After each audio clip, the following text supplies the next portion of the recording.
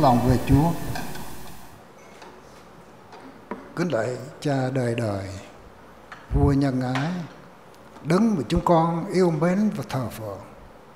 Chúng con cảm ơn Ngài vì chúng con được buổi sáng mai hôm nay được đến nơi này để cùng nhau tôn thờ Chúa.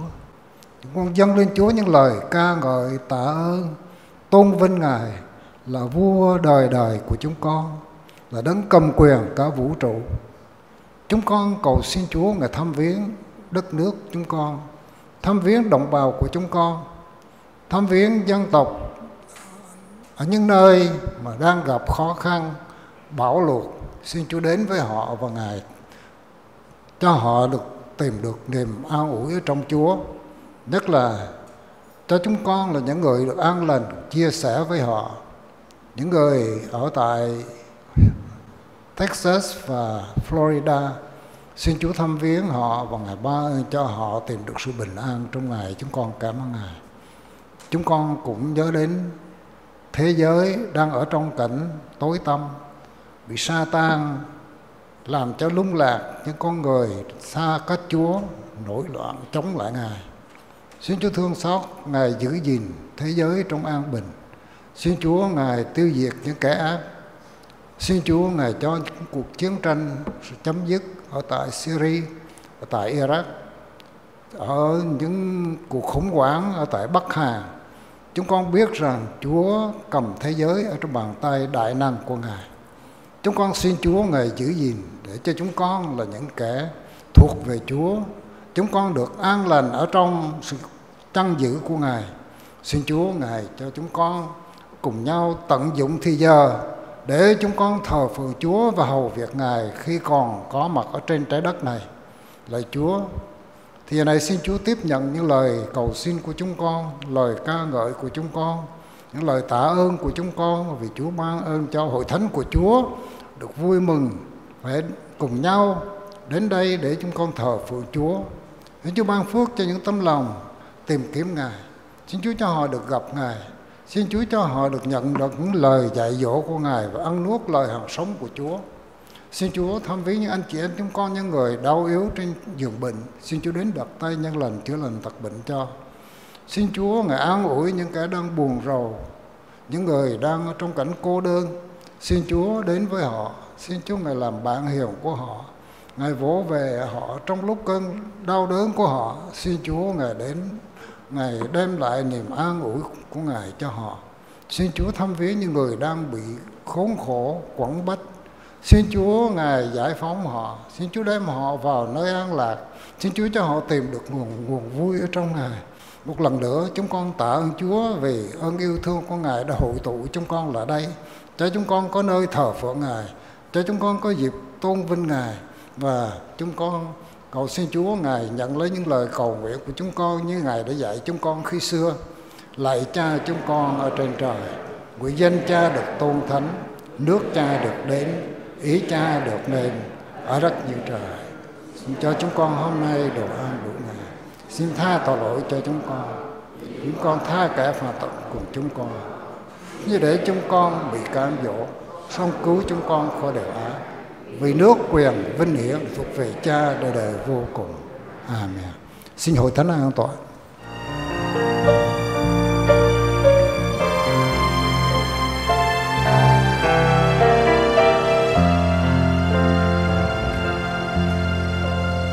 Ôi Giêsu Chúa ta là bạn thờ bằng lòng gần tội lỗi chúng ta.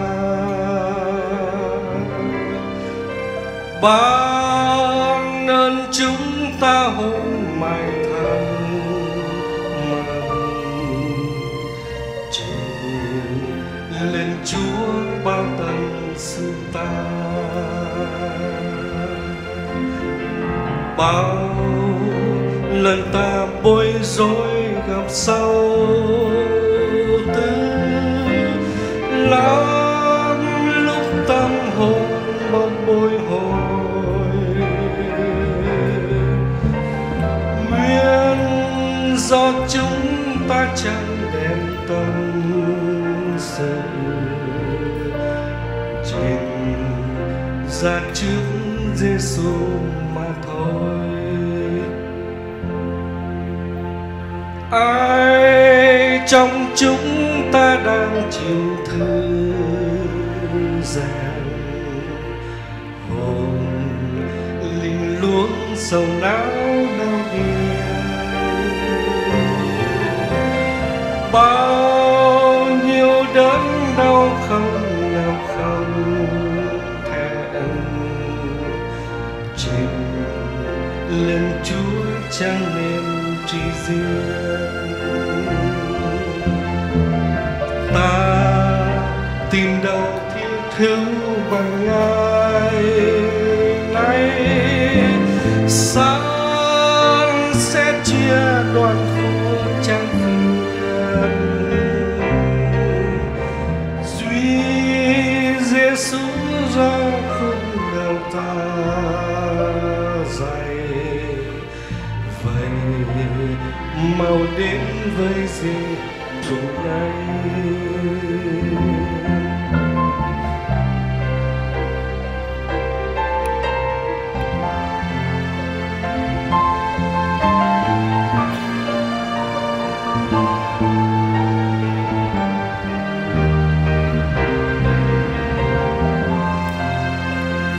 ai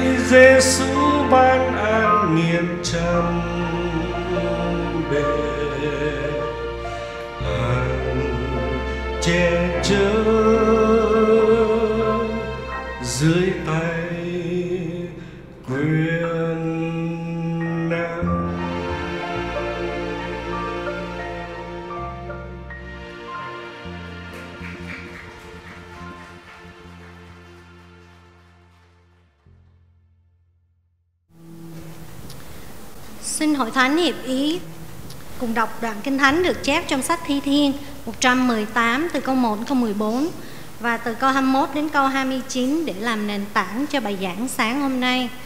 Tôi xin đọc.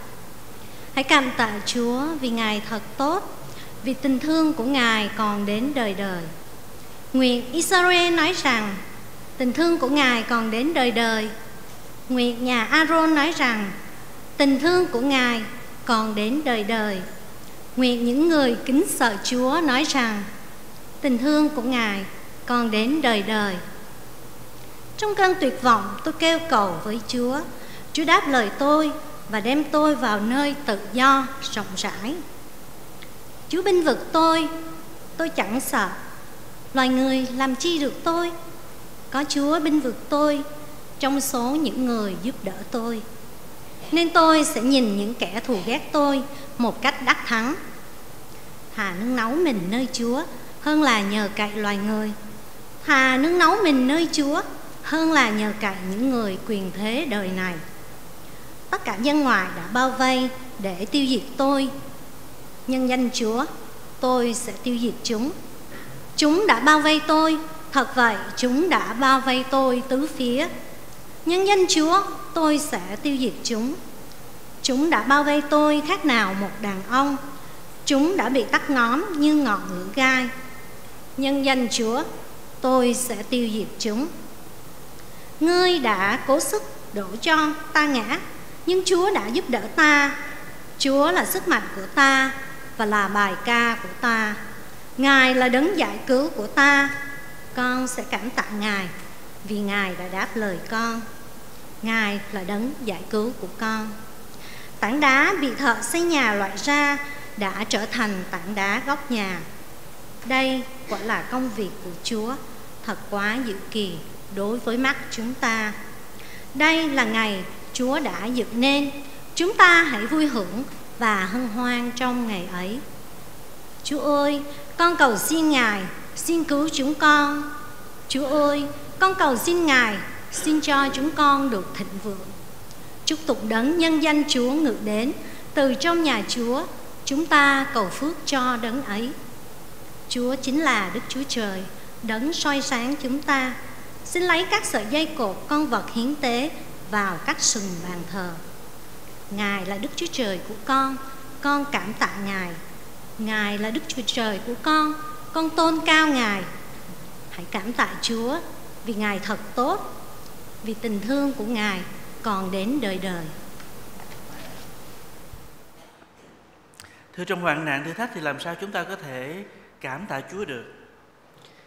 Thưa có ba lý do. Lý do thứ nhất là khi chúng ta cảm tạ Chúa, chúng ta sẽ kinh nghiệm được một lời hứa rất là quý báu của Chúa. Khi chúng ta cảm tạ Chúa, thứ nhì sẽ khiến cho chúng ta có được một thói quen của xa xưa ngày nay chúng ta không để ý mà khi lập lại thói quen đó thì chúng ta sẽ rất là được khích lệ và thứ ba khi chúng ta cảm tạ chúa như vậy thì chúng ta sẽ nhìn thấy chúa một cách mới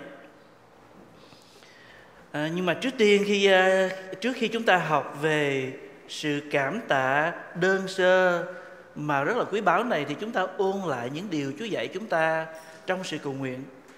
Chúa dạy chúng ta chúc tụng Chúa là ca ngợi Chúa. Là khi cuộc đời chúng ta có niềm vui nơi Chúa, thì lúc đó chúng ta ảnh hưởng nơi con cháu chúng ta nhiều nhất. Và lúc đó hội thánh ảnh hưởng trên người ngoài nhiều nhất. Chứ không phải chỉ những lý luận của chúng ta dầu điều đó là điều tốt. Chúng ta cũng học sự lắng lòng, suy gẫm lời Chúa để nhìn thấy ơn của Chúa và có lời cầu nguyện thích đáng. Chúng ta học than thở với Chúa vì những ai than thở với Chúa sẽ bớt than thở với những người chung quanh. Chúng ta học về xưng nhận tội lỗi tại vì khi chúng ta xưng nhận tội lỗi thì chúng ta được đả thông với Chúa và với những người chung quanh. Hôm nay chúng ta học về cảm tạ Chúa từ tuyệt vọng. Trong cơn tuyệt vọng, tôi kêu cầu với Chúa. Trong sự gian trưng, trong sự nguy khốn, tác giả đã kêu cầu với Chúa. Chữ Metsa trong tiếng Do Thái nói đến là sự hoạn nạn hay là sự chật hẹp. Chữ Metsa này cũng nói đến xuống tinh thần giống như chữ Gia Cốp à, mô tả Gia Cốp khi ông đối diện với ông anh của ông là người mà ông đã lừa dối chữ Massa này có gốc nghĩa của à, tinh thần của người Do Thái khi họ bị kẻ thù tấn công trong các quan sát đoạn 2 câu 15 nói rằng, họ sống trong cảnh cực kỳ bi đát. Mà cũng chữ đó được mô tả sự đau đớn, quặn thắt như sản phụ lúc lâm bồn. Như trong Jeremy đoạn 48 câu 41 nói rằng, trong ngày đó lòng của các chiến sĩ Moab sẽ đau đớn quặn thắt như sản phụ lúc lâm bồn. Có nghĩa là người trải qua cơn bi đát cơn đau đớn thì thấy những chuyện mà những người khác không thấy hay là họ không thấy trong những lúc bình thường. Họ sẽ thấy chuyện gì là, là quan trọng? Họ thấy ai là quan trọng? Trước đây họ nghĩ có một số người là quan trọng nhưng mà trong hoạn nạn thì họ mới thấy người quan trọng thật là ai. Bây giờ chúng ta nhìn những người đang bị bão lụt đó thì chúng ta biết rằng đó, họ thấy giá trị của tài sản khác hơn trước khi họ bị. Họ cũng biết rằng họ dựa ai được hơn là những lúc bình thường. Và cũng vậy trong cái cơn cùng khốn này thì tác giả Thi Thiên 118 thốt lên Thà nương náo mình nơi Chúa hơn là nhờ kẻ loài người. Thà nương náo mình nơi Chúa hơn là nhờ cậy những người quyền thế đời này.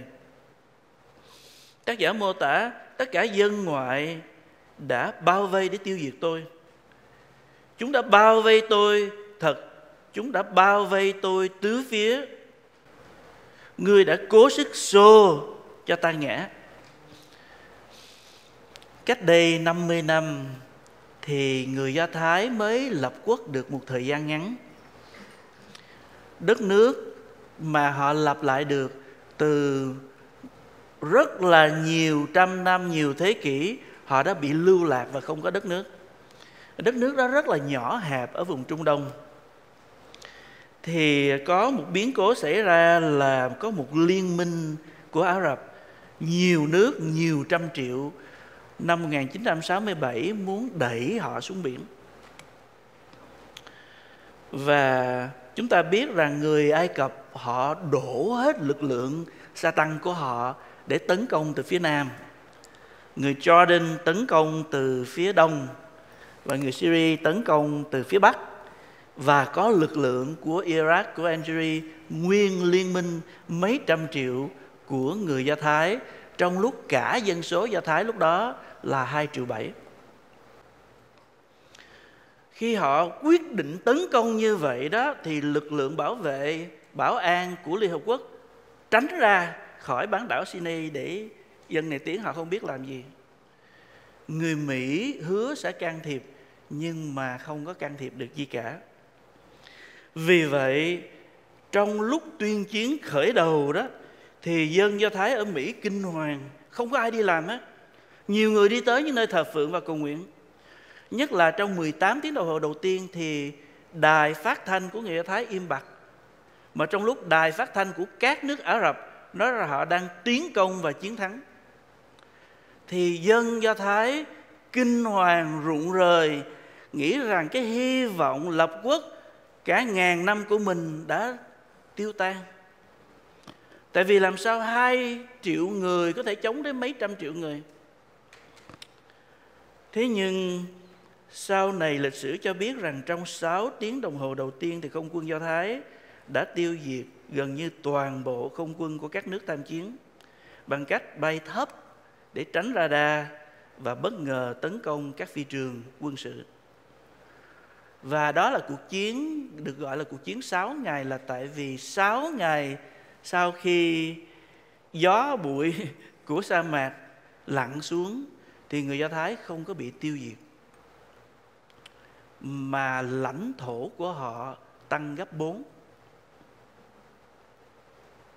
Hình ảnh của một vị vua, một xứ Ả Rập hoảng sợ chưa cạo râu lên trên tivi để xin đồ hàng là một hình ảnh người Do Thái nhìn và khóc.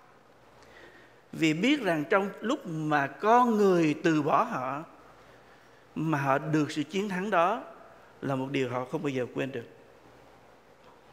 Cho nên chúng ta hiểu được tâm trạng phần nào của tác giả tại đây là người viết nhiều ngàn năm trước đó khi bị bao vanh bởi kẻ thù. Chúa minh vực tôi tôi chẳng sợ, loài người làm chi được tôi? Có chúa binh vực tôi, trong số những người giúp đỡ tôi, nên tôi sẽ nhìn những kẻ thù ghét tôi một cách đắc thắng sự đắc thắng đó không phải là sự kiêu ngạo, mà là một sự biết ơn tại vì đáng lẽ mình bị nghiền nát, mà bây giờ mình đứng vững tôi sẽ chết, nhưng tôi sẽ không chết, nhưng sẽ sống để thuật lại những công việc của Chúa. Chúa đã xử phạt tôi cách nghiêm khắc, nhưng Ngài không phó tôi cho tử thần. Tảng đá bị thợ xây nhà loại ra đã trở thành tảng đá góc nhà. Đây quả là công việc của Chúa, thật quá diệu kỳ với mắt chúng ta. Đây là ngày Chúa đã dựng nên. Chúng ta hãy vui hưởng và hân hoan trong ngày ấy. Câu 24 Đây là ngày Chúa đã dựng nên Chúng ta hãy vui hưởng và hân hoan trong ngày ấy đó là cảm tác của bài thánh ca This is the day, this is the day that the Lord has made, that the Lord has made. I will rejoice, I will rejoice and be glad in it. Um, tiếng Việt anh em có dịch là một ngày tươi mới, một ngày tươi mới do Chúa Cha ban cho, do Chúa Cha ban cho lòng mừng phơi phới, lòng mừng phơi phới trong tiếng ca rộn ràng. Ngày tươi mới đó hồi tôi hát, tôi tưởng đó là tại vì một ngày nắng đẹp, cho nên tác giả đặt bài hát đó. Nhưng mà ngày đó không phải là ngày nắng đẹp. Ngày đó là một cái ngày khủng khiếp. Nhưng mà Chúa cứu. Ngày đó là ngày bị bỏ rơi mà lại chiến thắng. Ngày đó là ngày tảng đá bị người ta luyện ra đã trở thành đá nền tảng cho những người khác, cho những công trình xây dựng khác. Cho nên tại đây chúng ta thấy sự cảm tạ trong hoạn nạn có ý nghĩa rất là đặc biệt. Sự cảm tạ này nói không phải là tại vì tai qua nạn khỏi mà giống như những câu đầu mà chúng ta đọc chúng ta sẽ thấy sự cảm tạ này nói rằng hãy cảm tạ Chúa vì Ngài thật tốt. Vì tình thương của Ngài còn đến đời đời. Nguyện dân Israel nói rằng tình thương của Ngài còn đến đời đời. Nguyện nhà Aaron nói rằng tình thương Ngài còn đến đời đời. Nguyện những người kính sợ Chúa nói rằng tình thương Ngài còn đến đời đời. Có nghĩa là không phải tai qua nạn khỏi, nhưng mà tác giả nhận biết Chúa một cách mới. Là người Việt Nam chúng ta biết à, khi người ta khổ là người ta van vái cầu khẩn đủ mọi nơi. Làm sao cho tai qua nạn khỏi? Và người ta lại không có để ý đến cái à, đối tượng mà mình cầu khẩn. Ở xóm của tôi nhiều người van vái và van vái cả cô hồn các đảng.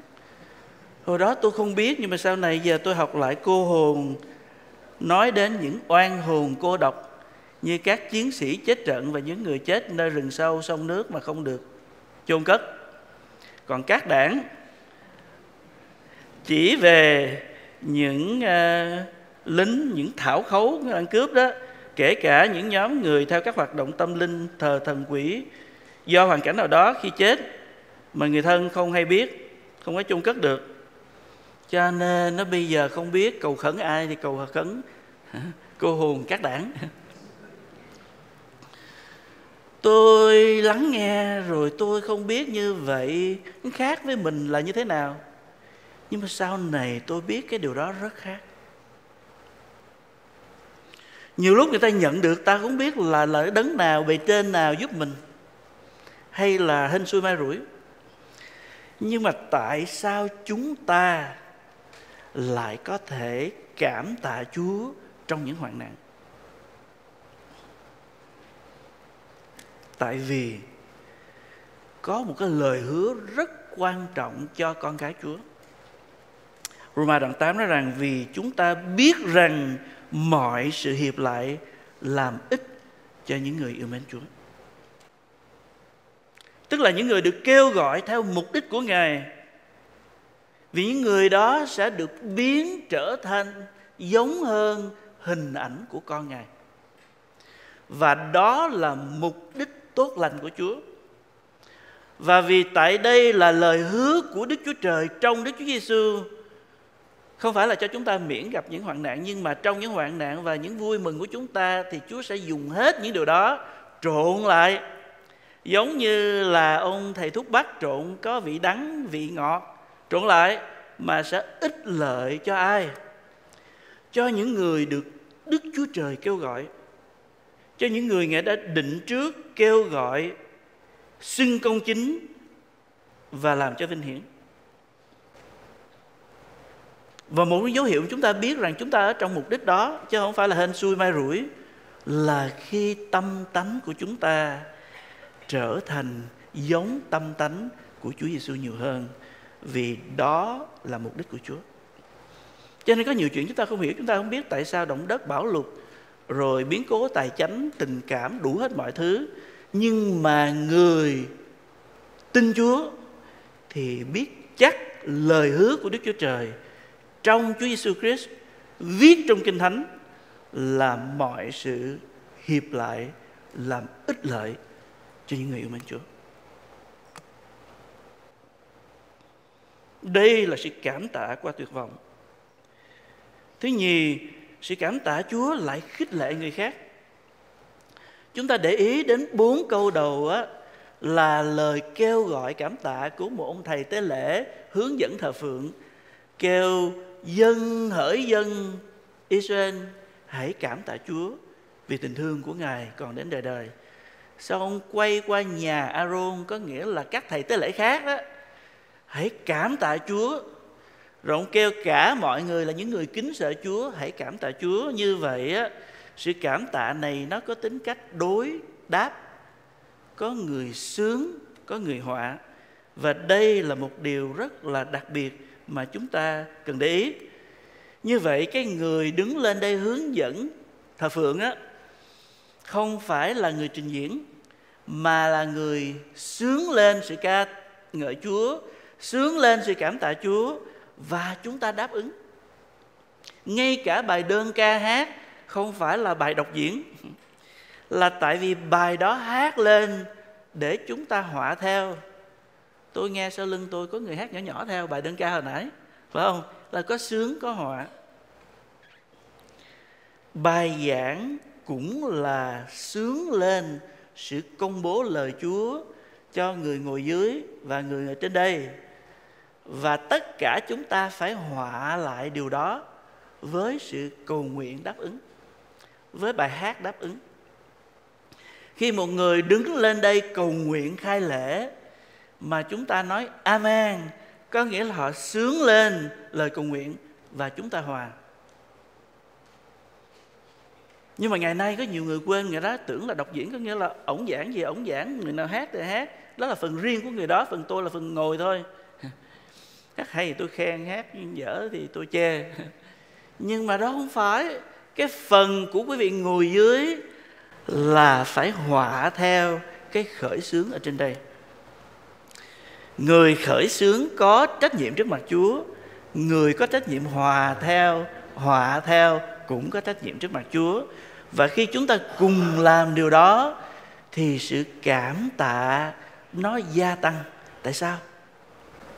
Mấy hôm nay có nhiều lúc tôi à, tôi ngứa cổ, tôi không kèm được, tôi ho.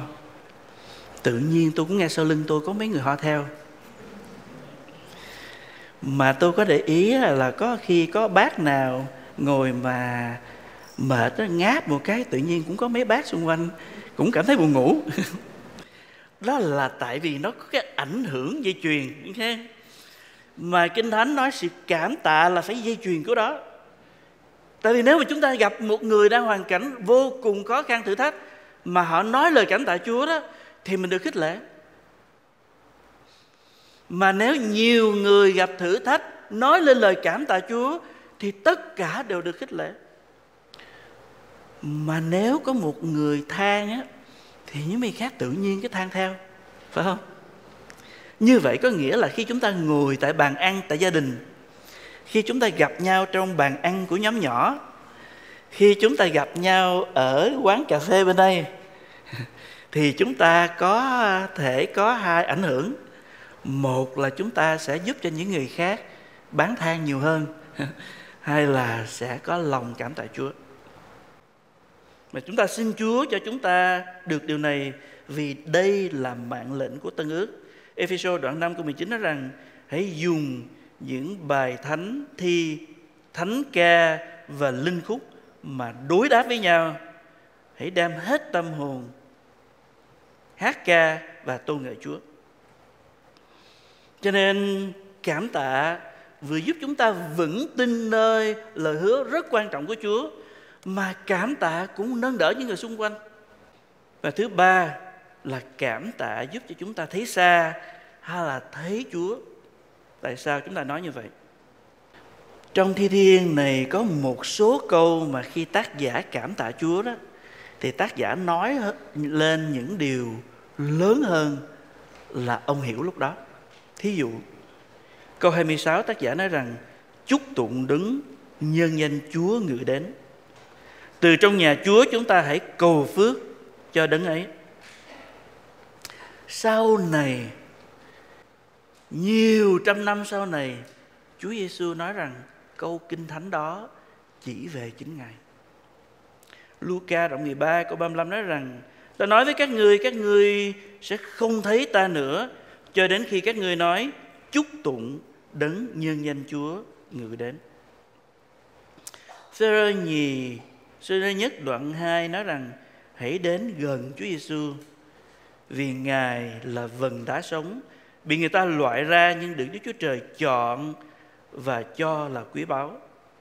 Đoạn 2 câu 7 nói rằng, Vậy đối với anh chị em là những người có lòng tin thì Ngài thật là quý báu.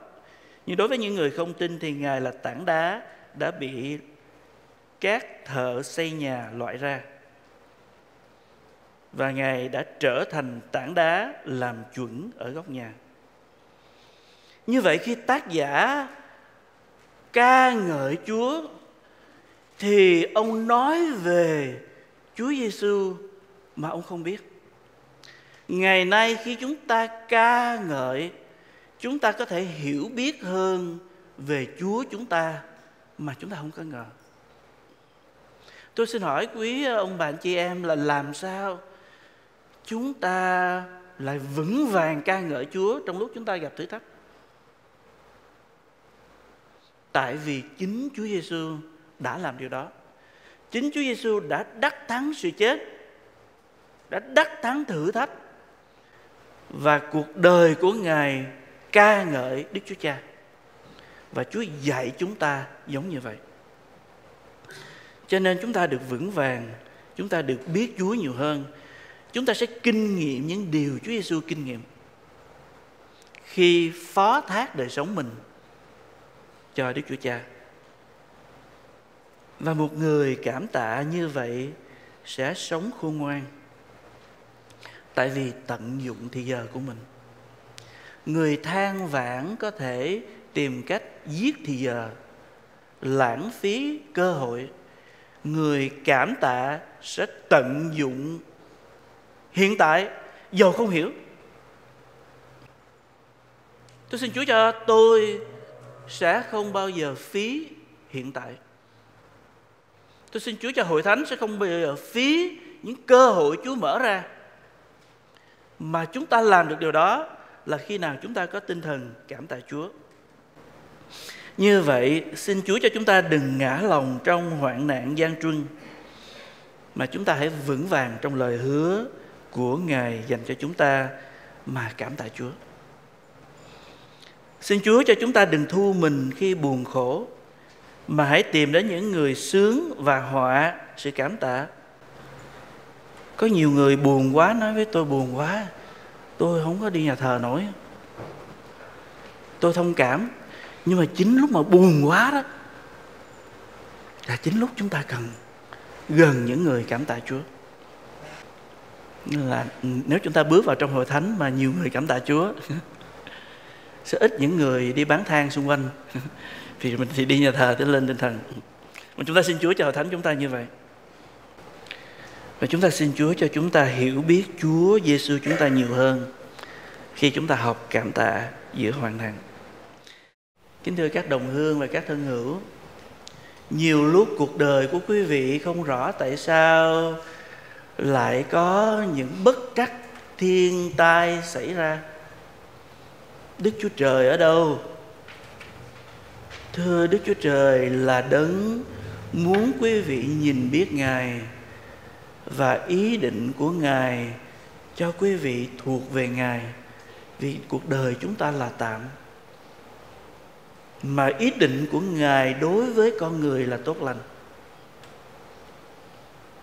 Và không có điều nào yên tâm hơn cho chúng ta là chúng ta nhìn biết Đức Chúa Trời bày tỏ qua con của Ngài bằng xương bằng thịt trong Chúa Giêsu để yêu thương chết thế cho quý vị.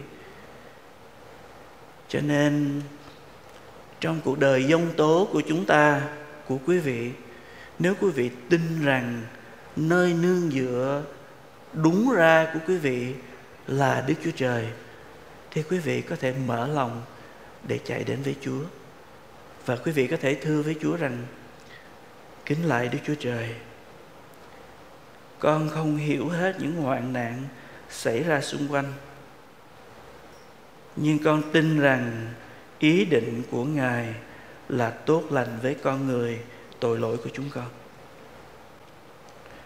Xin cho con nhận biết Chúa. Xin cho con được tha thứ trong Chúa Giêsu